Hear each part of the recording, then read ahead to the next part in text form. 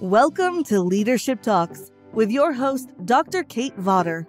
In each episode, Kate speaks with successful leaders across industries, real people, and local leaders. Each of her conversations explore different leadership styles, how people achieve unbelievable success, overcoming challenges, and how to become the best in the world. You can find this show at www.ascentsolutions.net and on YouTube, Facebook, LinkedIn, Apple Podcasts, Spotify, and more. Now, here's the host of Leadership Talk, Dr. Kate Vawter. Hi, welcome to Leadership Talks. Today on the show, I have a special guest and friend, Sue Rigler of 100 Mile Brewing Company. Sue, welcome. Hi, Kate. How are you? And thank you so much for having me today. Of course, I'm so excited uh, and love, you know, visit. Uh, we should have done it on site so that I could imbibe in your deli- delicious beverages next time. Next time. Um, so tell us, how long has 100 Mile been open now? 100 Mile Brewing has been open six months. So we are very new. We opened at the end of last year in December of 2020. Awesome. And can you tell our listeners a little about of like I'm an avid brewery connoisseur, so I know lots, I think. Um, but can you tell our listeners who maybe haven't entered the brewery scene yet a bit about like what the business is? Yes, we have um it's the word brewery is in our name, however, we're much more than a brewery. We have um, we brew our own beer on site. We have 24 taps where we brew our own beer and we also have a full restaurant component. So we have amazing, delicious chef inspired menu. And I've been told many times that our burger is literally people dream about our burger. So yeah, food. And along with that, then we have um, full cocktails. So we have signature cocktails. And ironically, we were just written up um, today um, by the Phoenix New Times about our cocktails. So not only have beer, we have we have something for everybody. They are good cocktails, can confirm. Maybe I've had I've had most of the menu now. uh so you're six months into operating this wonderful establishment. What was your journey before the brewery? Yes. Before the brewery, I went to I actually sold um sold brewing equipment. I, I am an ASU alum and I graduated with a degree in microbiology. So I had this epiphany or revelation to open up a microbrewery when I actually saw a microscope in a craft brewery that I was in in Montana. So it kind of um, got the ball rolling, and I went and talked to the brewer on site, and he said, "Well, brewing is all science." So my worlds right at that point collided. My love of science and my love of beer collided, and I said, "Hey, I want to get into the craft brewing industry. So with that, I went back to school um, and got my certification in brewing from UC San Diego. And that is how I was led to opening up this brewery. And so right before I did open the brewery, I got experience and I sold brewing equipment. So I was actually able to go to over 500 breweries on the West Coast. Yes, which was a lot of fun.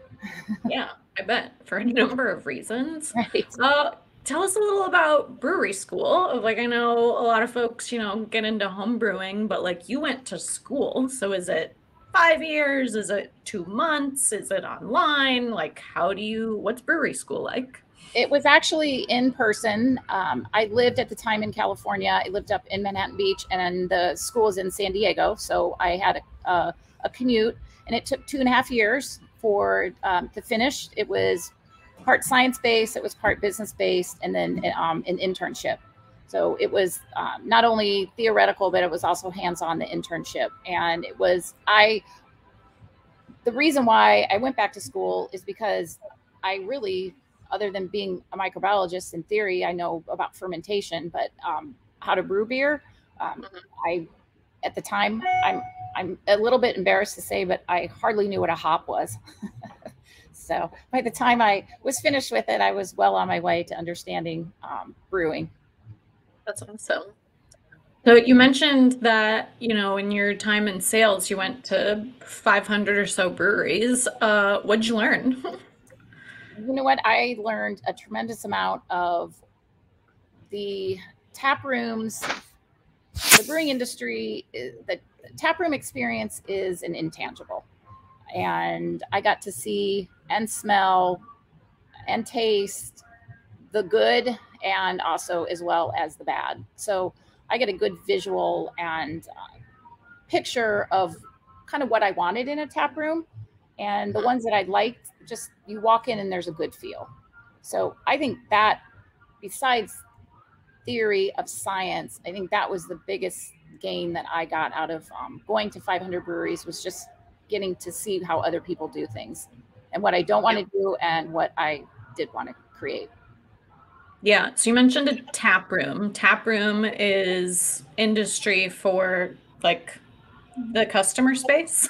Good question. Yes, there's different parts of a brewery. The brewery floor houses all the tanks. Um, a lot of people call them vats, but they're actually tanks and fermenters. And the brewing equipment, what you actually brew the beer on, is called the brew house.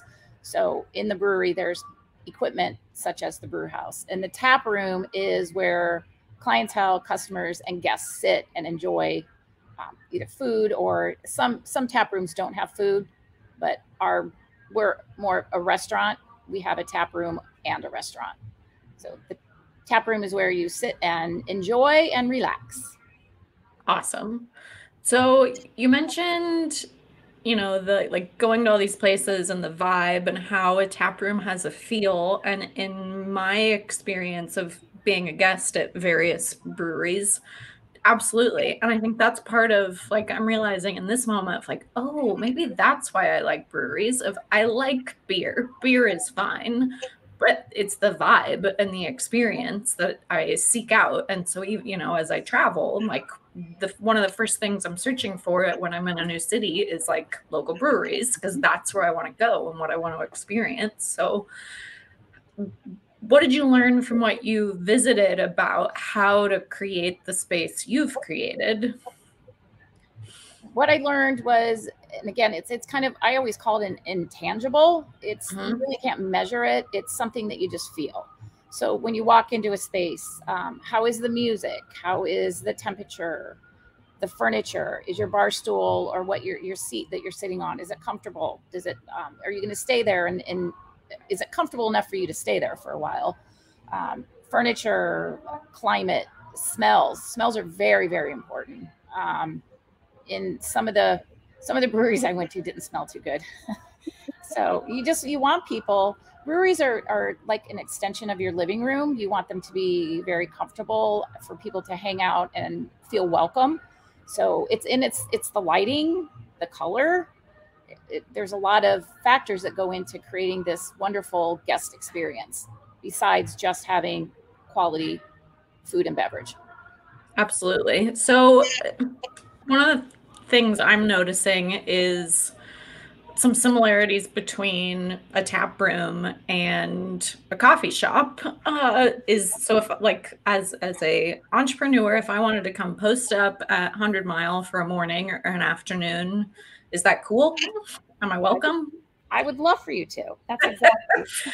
okay. And I, I ask for everybody, not for just me, of, you know, especially, and for remote employees too, of, I'm either at, like, I'm at home a lot, which some days is really nice, and other days is a little mind boggling and like, oh my God, have to get out of the house. Uh, and so having, like, having these third places, if you will, or I guess second place in my case, um, to be and feel at home and feel welcomed and like build community with other people that are around is is huge.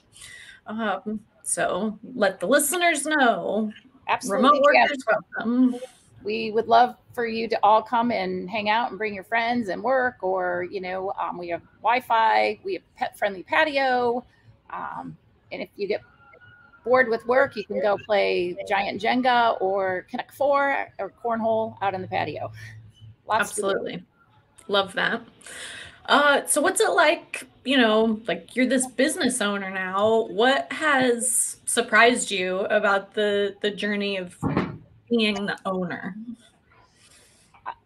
without a doubt is I always said for eight years that I wanted to own a brewery, own and operate a brewery. Um, now I am a restaurateur.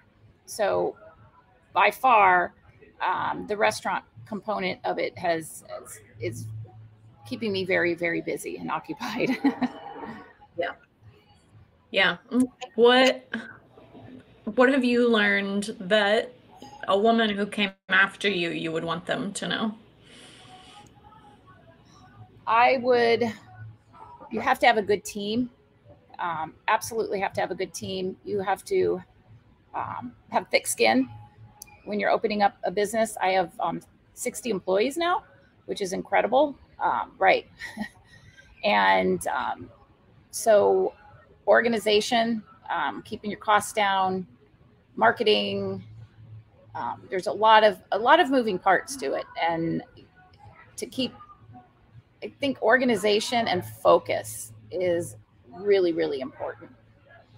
What systems are you using to stay organized? And when I say systems, that could be anything from Google Calendar to a handwritten notepad. Like, what are the things you do to keep all the ducks in a row? I always say I'm kind of hybrid just because of my age. I still I like my notebook. I can't mm-hmm. go all digital. So I have my notebook that I write, just take notes down. And then for the restaurant and the brewery, component we have i have software set up where there's dashboards and everything is run digitally for food costing and for um, the brewery for inventory as well awesome. So you mentioned 60 employees. That's a solid amount of people. How are you navigating finding the finding and keeping the right people? Great question. Um, we actually have had um, very little turnover in um, our front of house. So our retention is, I, I, feel very good about that. We have a lot of um, familiar faces when the locals come in here. Um, they see the same people, the same bartenders and, and wait staff. Um, so I feel really good about that. We have had some turnover in um, in the brewing and in the kitchen which uh, I'm a firm believer in everything happens for a reason. And um, every bit, it's all working out to, uh, we're doing really well and we have solid beer. And so, um, as, as far as recruitment goes, I, I like word of mouth. It doesn't always happen. So, I mean, we go on and look on Indeed, and then our website actually draws a lot of job applications in.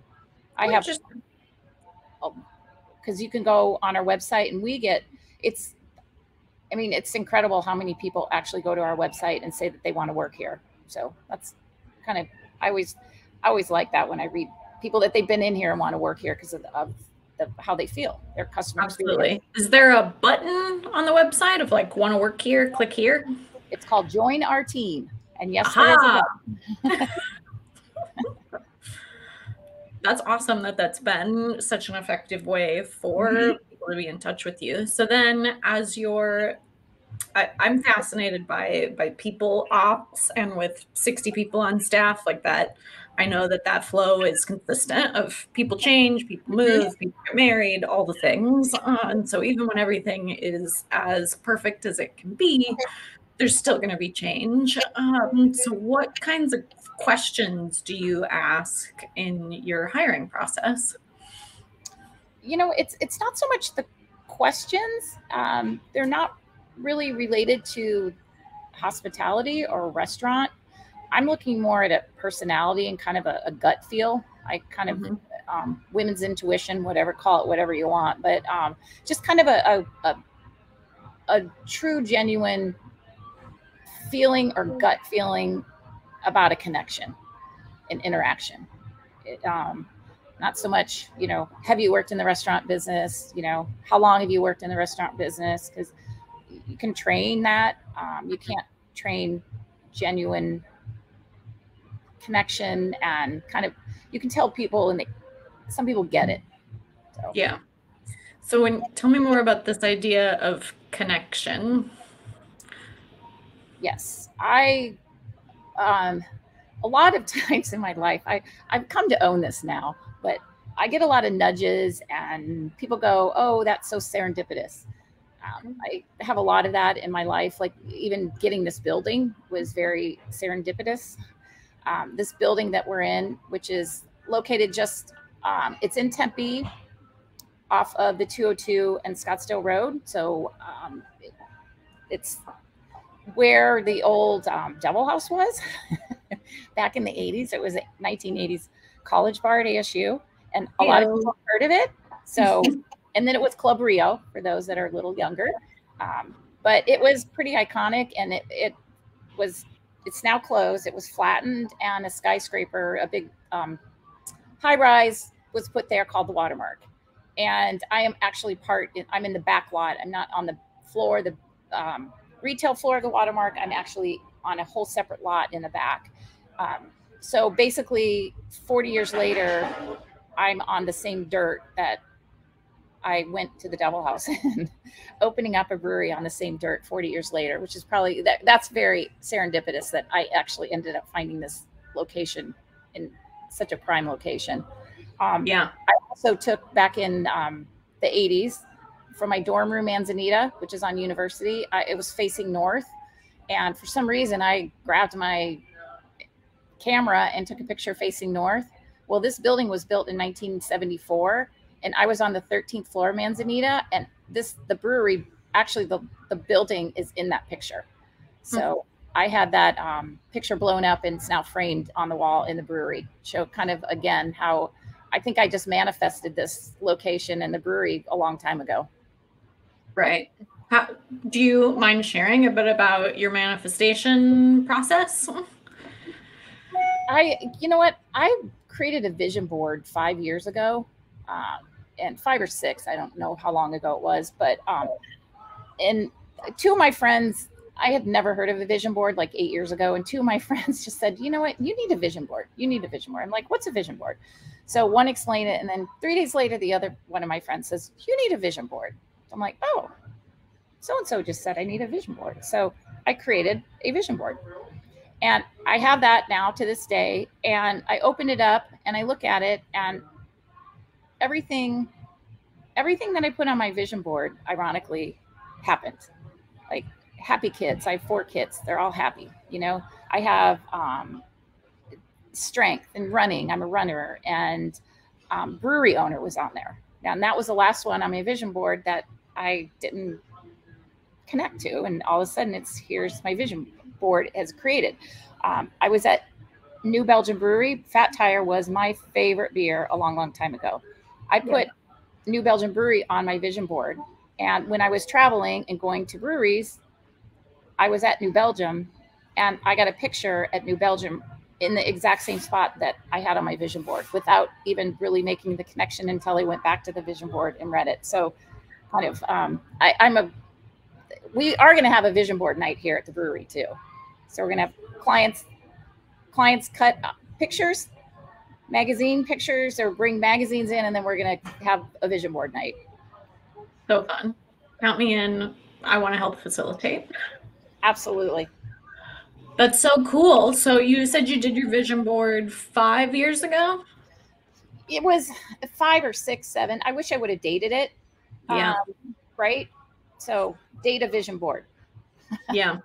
Same. I have a, I've done a couple vision boards and I really enjoy like I've done it with people so like at an mm-hmm. event um and just that energy of like hey let's let's create and let's vision and yeah it's it's crazy how effective of a tool it is um it is you, it, you look at it every day and you just it becomes part of your subconscious and your manifestation. So mm-hmm. happy, you know, pictures of I have a picture of a guitar and I started playing guitar. So it's like Yeah. That's so cool. Thank you for sharing. But I don't play guitar well. I say That's fine. okay, it's not it's not about that. It's about the experience of playing. So what's um so you're six months in are you how are you feeling are you feeling successful are you feeling still like it's really fresh i feel like i'm um, free falling from an airplane really. okay Have you done that before? I have twice. You know? Okay, me too. And the parachute has not opened up yet, but I've been told it will open up.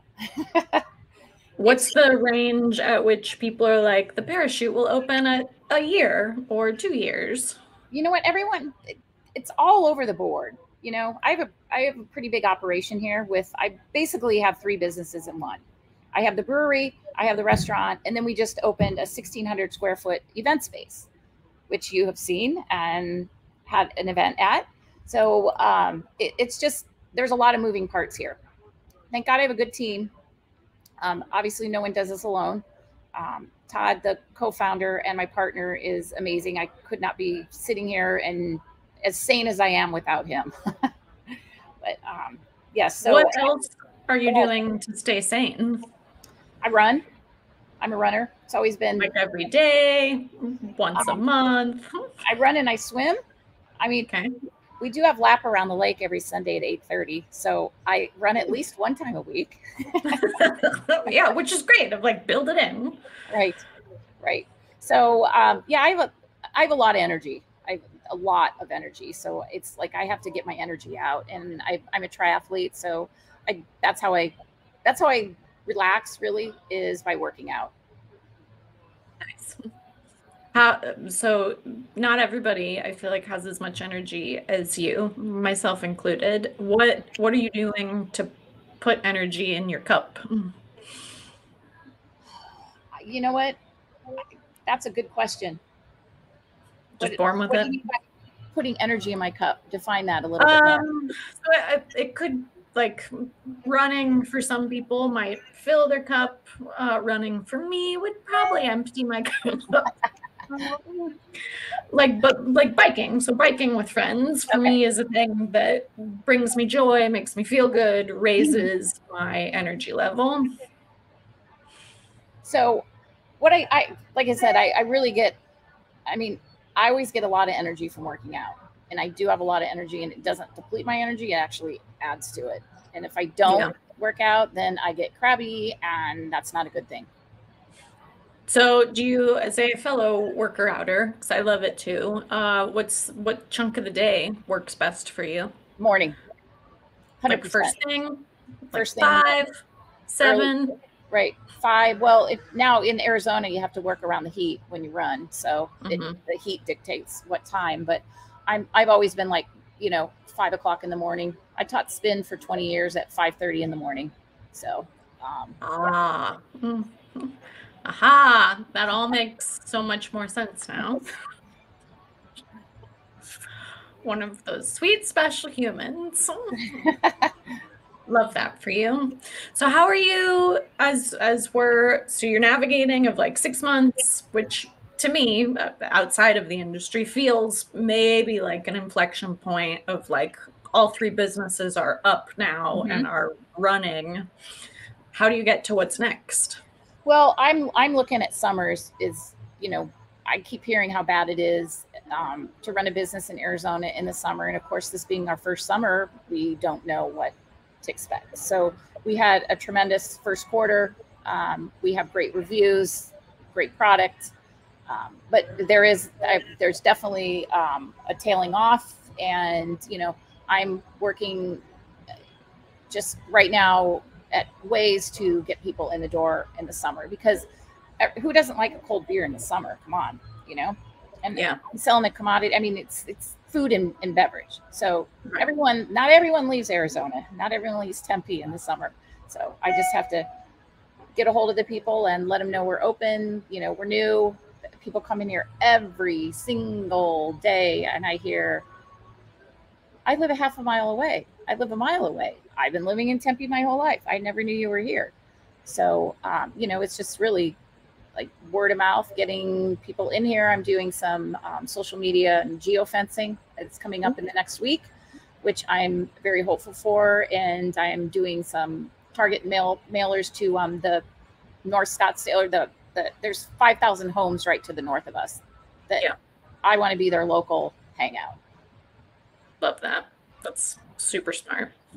How so are you working with uh like a marketing agency to do the mailer or how how are you navigating those choices? Um, the the mailer is through a company that I actually just found online doing a little bit of research because I can't go walking to 5,000 houses or, you know, getting out. So it's a company that's been around for uh, 25 years. And then um, the real success in my business is, and I got to give Jordan Hudgens of Dash Track a huge plug here. Um, he designs my website, and not only does he not sleep, um, he's like answering emails at 3:30 in the morning, and I'm always emailing him at 3:30 in the morning. I'm like, "What are you doing up?" He goes, "What are you doing up?" But um, his the website is he's helping me with the geofencing um, and the marketing. It has marketing lists, so it's kind of got a Mailchimp component to it. But um, so Jordan's been tremendous in my marketing efforts. And then I work with um, Susie Tim at uh, Knife and Fork Media for PR. So, um, you know, I'm just trying to cover all bases. Right. Which makes sense. It's a new business and still getting the word out. So, how, what's the best way to physically get to where the site is? Yes. So, we are located, as I said, we're located off the 202 freeway and Scottsdale Road on the south side of the 202. So um, there's a Macayo's there that a lot of people, or it used to be a Denny's, kind of a, that's kind of a mark that people know. So if you go through that parking lot and head straight west, you'll you'll run right into us. We're a one-story building. Um, otherwise, you can come off of Curry and go south on College and that will literally just take you underneath the freeway um, and you just follow this road it'll go, go right in. Also it, we're on the by we're within steps on the north side of tempe town lake marina. So um, we're right on a bike path and part of the watermark. So did that make sense? Very cool yeah, well, and I, you know, the first couple times I went there, I personally used Google Maps and it took me right there. And while I love all the things about the brewery and the food and the booze, um, also the parking to me is mm-hmm. a real win of I feel like a lot of breweries have pretty challenging parking and of like this particular location is un- unique to navigate to but once you're there there's so much parking that it's never a thing. There's always a spot because it's like it's got such that that larger lot to the west um so it to me is is a major right. win because it's not like i know there's going to be space for me. Right. And it's free. And it's free yeah. And safe too like it feels it feels like a very safe place to be. Mm-hmm. Uh, so what do you so for folks who do live around here, you mentioned brand new event space. Um, what's what's your hope for that space? We just yes, it's brand new, less than two weeks old. It's about two weeks old now. And as I speak, as I sit here, they are actually in. This is why I'm not in the event space. I was going to use it because it's kind of quiet, but there there are a lot of power tools over there. They're um, finishing up the bar today. So they're putting the kegerator in, and we we're going to be have a full service bar over there. So for catering and cocktails, mixing cocktails and serving beer over in the event space. But it's 1,600 square feet. Um, it it holds 75 people seated and about 100 up mingling, and it has um, wireless mic. It has three smart TVs, so you can do business presentations. Um, I anticipate probably a lot of um, showers, baby showers, bridal showers, maybe some rehearsal dinners, business events. Um, ASU is going to have their um, their luncheons there before the game day, like the day before game day, they have luncheons. So, um, and yeah, we have a lot of interest actually on the space already from ASU and the city. And can I please give a plug to both ASU and the city of Tempe? You're the guest. You do what you see fit we are talking about the event space. I'm just going to take a little, go off on a little tangent and how much I love being a business owner in the city of Tempe. Um, you know, again, my roots, I'm from Iowa and wanted to get out of the snow. So in the 80s, I went to ASU, lived in California, and then came back to open my brewery. So I lived in California for over 30 years and I came back to Tempe because it feels like home. And I could not think of a better city and a better location to be in. We are so supported. I feel welcome and I feel like the city wants me and Hundred Mile Brewing to be here. So um, I know, and again, just my experience in working with brewers and, and breweries, a lot of them have tremendous fights with the city that they're in. And I just have had nothing like that. I just want to commend the mayor, Corey Woods. He's an amazing human being. He loves our potato chips. So, Mayor Woods, come back in here and get some potato chips. I haven't seen you for a while. And yes, so, and Dr. Crow actually um, from ASU actually took the time to write me a letter and saying, thank you for building this community place for the city of Tempe and congratulations on making your dream come true, which I thought was really awesome. So that is really nice. Right. It definitely goes a long way in making you feel welcome as a business Absolutely. owner. Absolutely. So back to the event space. Yeah. So, um, but yeah, we just opened it. So, um, and it's, I, I just want to get the word out. So if you have birthday parties or any type of private event that you need some private space, that's it. If you have a happy hour group with business, come in. We have areas on in the tap room where you can mingle, bring a large group. We have a lot, a lot of businesses that actually come in here either on the patio when it's a little bit cooler or oops, um, in the back area of the tap room. We have plenty of space for everybody. I concur. It is a lovely venue with plenty of room for people. That's this is also great. Uh, is there any advice or thoughts you would want to share with the women who come after us? Of like, I see you as a trailblazer. You know, you are taking steps to live your dream and live your vision and I have to assume that that living in your values and your vision probably feels really good and not everyone is in a space where they get to do that. So what advice could you share about like making that leap from whatever default world was to this is who I want to be, I'm going to do it. Mm-hmm. Great question. Um, and I hear this, I, I heard it a lot. And now being where I am right now, it's you have, you must be driven by passion, whatever you're doing. It is just like a full on, just forceful feeling that if that's what keeps you going and that's what kept me going and is keeping me going um, is just the passion for what I'm doing and it, where I'm doing it in the city. As I said, I love being in the city of Tempe. I love being a brewery owner. Um, I'm liking being a restaurateur. Yeah. So, but um, just the drive and the passion. And I, you know what? The best part of this is when I get to walk out on the floor and talk to my guests. That I have the biggest smile on my face. So that's what I'm passionate about is creating the space for whoever wants to come in, locals, tourists, but passion. When did you realize that was your passion? I I've always been pretty social and energetic, so that kind of just comes along with the brewery. But really, it was when I saw that microscope in in the craft brewery that I just had this desire to combine science and, and beer and community. Uh, Beer is community. I mean, I always say there's a story. There's a story in every beer. You know, beer brings people together, and that's what I wanted to do. And I think I'm doing a fabulous job of it. Yes. And what a beautiful tagline, be it official or unofficial for your business. Beer brings people together. hmm Yes, it does. It brought us together.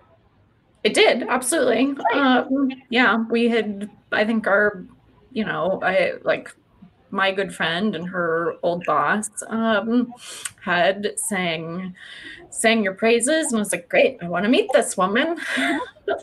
and here we are. Here we are. Yeah. Is there anything else you would like to share with our listeners today? Um, we have an event calendar on our website, and um, we have a lot of events that happen. We have um, cornhole that actually raises funds. Um, it's a nonprofit through ASU that raises um, funds for ASU families in medical need, medical hardship. And um, that's on Tuesday night. Wednesday night, we have board game night, and we have like 40 people that come and play board games. It's crazy, right? We have tie dye night once a month. So you, You get um, $25, you get a white shirt, and you leave with this beautifully, it's led by um, a gentleman that um, helps us tie dye. And then we have a mixology summer series coming up where you learn, we're going to um, guide you through mixing cocktails and embellishing them and signature cocktails, kind of classic cocktails. So, and we every Sunday, we at 8:30 now we do a lap around the lake. So it's a very very casual walk or run. There's a three, five, and an eight mile loop around the lake, and then if you come on in after and have lunch, well now breakfast because we open at nine, um, you get half off your first beer. And it is really it's it's fun. It's building community and we have a lot of regulars that do it and it's very very casual. So um, yeah we have a quite a quite a few events coming up and just every week. Something fun for everybody I love that. Well, Sue, it has been an honor and a privilege to have you on the show and talking about your story and your business. Uh, it sounds like if folks want to get a hold of you, they can check out the website and, and contact you there.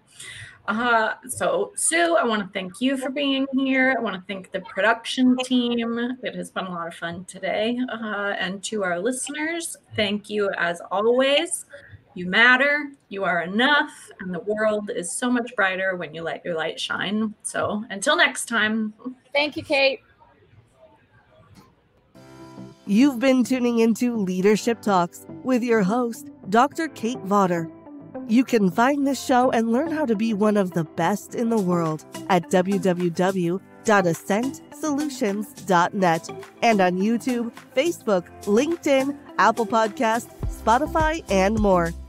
Thank you for your positive feedback, comments, questions, and for sharing the show with others.